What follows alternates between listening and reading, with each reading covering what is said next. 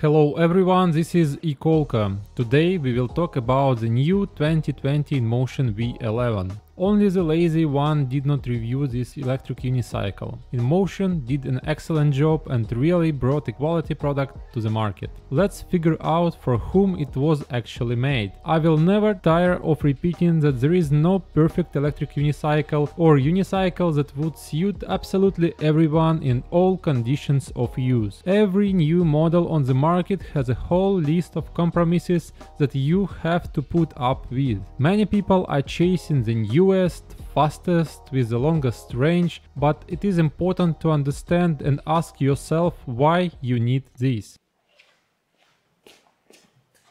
The second day I am using this InMotion V11 electric unicycle and for now I cannot tell if I am comfortable with it or not. Today I was going from home to work, it is about 30 kilometers and my approximate speed was 32 kilometers per hour so it is very strange because I went only 30 kilometers and 50% of the battery left and application said that I can go 60 kilometers more.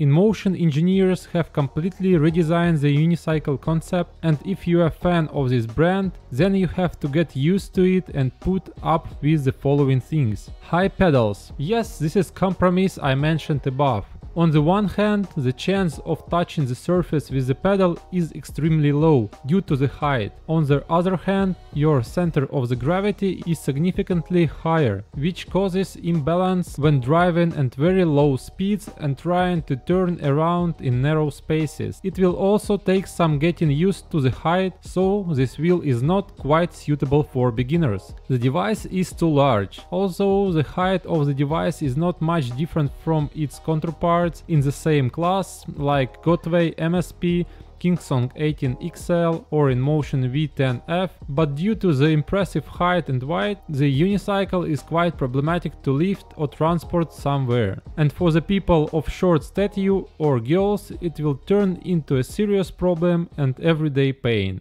One more thing that I'm a little bit confused, even that it has the same tire as MSP, Gotway MSP, it feels a little bit different. Sensivity when cornering. I like aggressive riding style and love to corner at high speeds.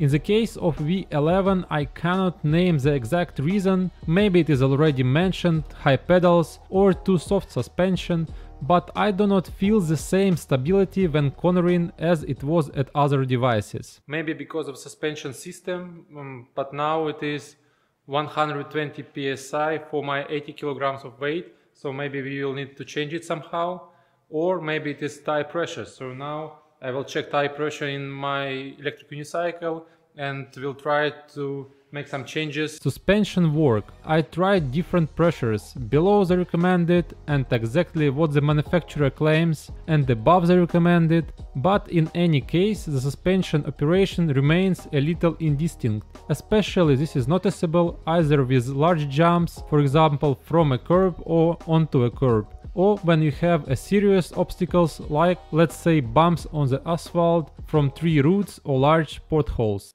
I'm charging it about one and a half hour with original uh, charger and it shows 90 kilometers range but I'm not sure if it is true because if you have really high speed I think we need to double it and the real range will be around 40 maybe 50 kilometers. I made the tire pressure to 1.8 and we will see how it will be going on. Before it was something around 2.1, 2.2 but uh, for fast riding I guess it is not, not so stable, but we will see. Maybe it is not about the tire pressure, maybe it is about suspension system. Why are all bloggers so impressed by InMotion V11? Simply because it is one of the best wheels ever invented in the history of the industry. Finally, at least someone was able to come close to the build quality and materials of the Ninebot Z10. Only for this you can buy this wheel. When you see it for the first time, you clearly understand what you are pay your money for. This wheel attracts 100% of the attention of others, thanks to its futuristic angel eye in front and the beautiful headlight like laser eyes in the back. The V11 is like a Rolls Royce in the world of electric unicycles. It is heavy, solid and swallows uneven asphalt as if they were not there. You just get up and drive, even on the ground, grass or cobblestones. There are no limits for you and your knees will thank you very much. For me the V11 is a perfect EUC for measured city ride, when you do not have to concentrate on every crack or hole in the asphalt and think about how to keep your feet on the pedals after the next bounce. You just get up and go, without hesitations or compromises. If 60 kilometers of range is ideal for you, if you are a lover of measured and safe riding, if quality of the materials and workmanship is important to you, then the InMotion V11 is certainly the right choice that you will definitely not regret. Thank you all for your attention, like, subscribe and see you in the next videos. If you are located in Europe, you can visit our webpage ekolka.eu. We have free shipping to 25 countries of Europe with delivery time of 2-3 days and 2 year warranty for all goods. Thank you and regards, that was Ekolka.